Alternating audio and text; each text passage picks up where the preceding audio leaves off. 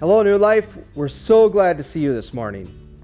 Absolutely. The praise band will begin in just a minute after a few exciting announcements. So please come on in and find a seat because church is about to begin. Oh, and don't forget to silence your cell phones. Announcements are short this week. The next big thing for the youth will be a junior high camp the last week of June in Medina, North Dakota. You bet. This season is open to kids who have completed grades 6 through 8.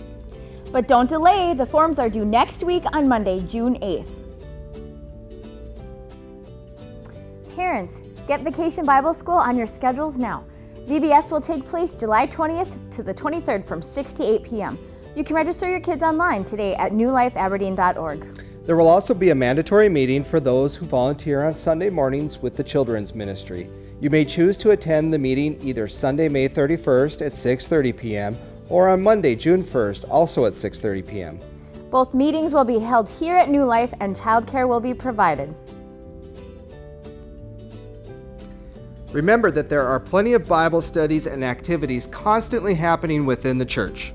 For more ideas or info, visit the information desk before or after each service to find more ways that you can get involved and promote Christ. But for now, worship is about to begin.